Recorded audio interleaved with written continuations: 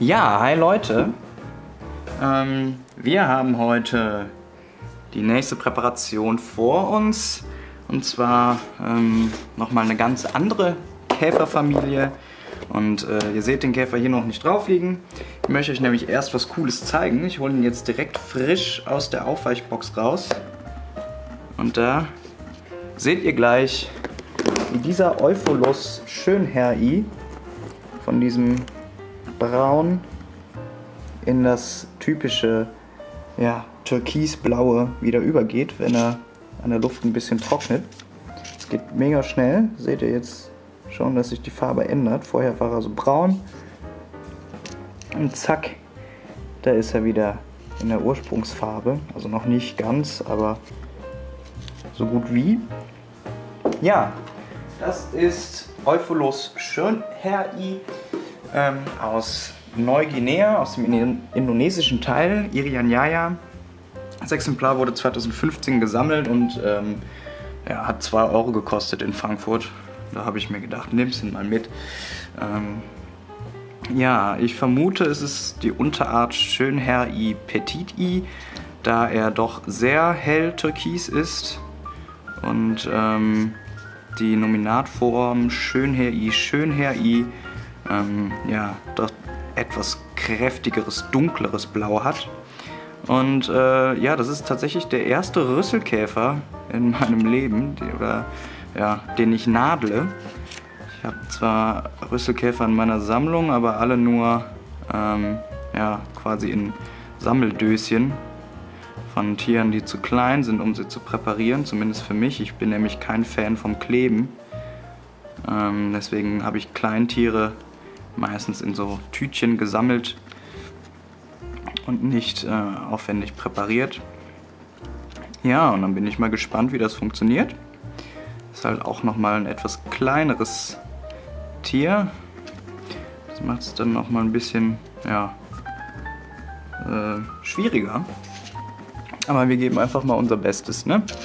Und fangen einfach an. Ich kann leider nicht viel über die Art sagen. Sind Vegetarier, fressen Blätter, die wohl giftig sein sollen. Es gibt viele verschiedene Arten innerhalb dieser Gattung.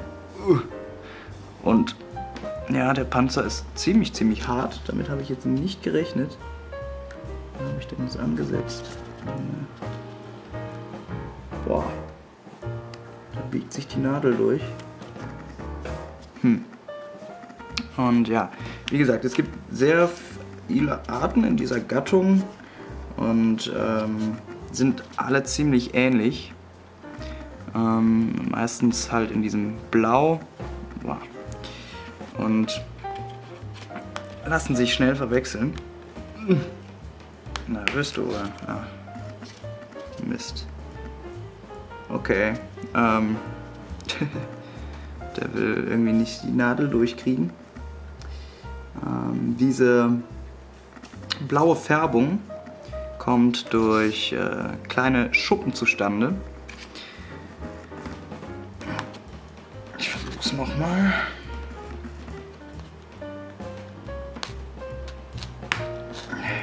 Nein, da ist echt kein Durchkommen. Ich habe mir jetzt gerade schon die Spitze unten verbogen. Das ist krass. Ähm, versuche mal eine andere Nadel. Habe ich noch eine stärkere?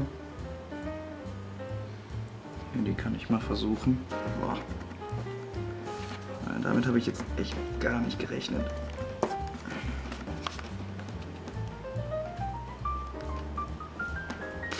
So, jetzt bin ich durch. Okay. Boah.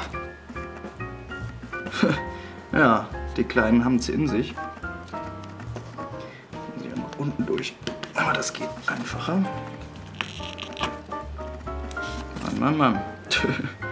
gerade so noch geschafft. Glaubt man gar nicht. Ähm, naja, genau. Also die Färbung wird durch Schuppen hervorgerufen. Ähm, wie ihr seht, nehmen die anscheinend bei, auf, beim Aufweichen eine etwas bräunliche Farbe an, aber kommen dann sehr schnell wieder zurück in die ursprüngliche Färbung. Ja, ähm, die Rüsselkäfer sind die artenreichste Tierfamilie überhaupt auf dem Planeten Erde. Ähm, und man sagt, unter Koleopterologen gibt es quasi das Sprichwort, jede Pflanze hat ihren Rüssler, da ähm, viele Arten auf spezielle Wirtspflanzen spezialisiert sind. Ähm, es gibt natürlich auch einige, die mehrere Pflanzen ähm, befallen, ähm, aber der Großteil der Arten, sag ich mal, ist äh, da relativ spezialisiert. Und es gibt auch einige als Schädlinge geltende Arten und ja, es gibt sehr, sehr, sehr, sehr viele verschiedene Formen innerhalb dieser Familie. Von groß bis winzig klein. Ähm, ja, extreme Formenvielfalt, Farbenvielfalt auch. Und ähm, ja, extreme Artenvielfalt.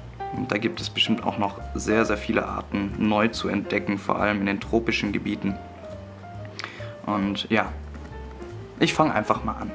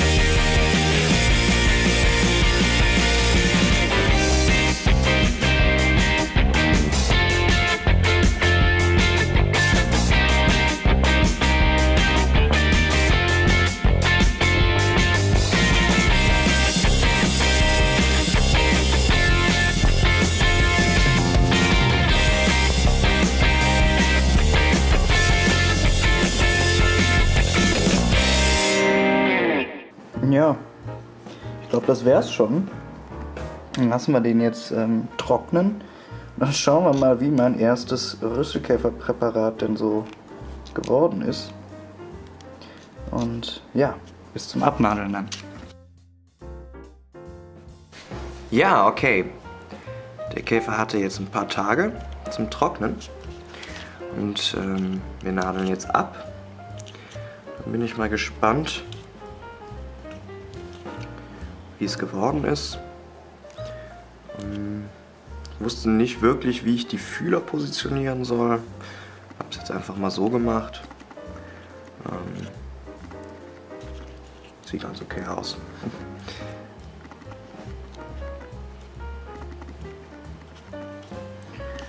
So. Und ja, ich würde sagen, für den ersten Rüsselkäfer, den ich genadelt habe, ist das doch ein ganz gutes Ergebnis. Hm?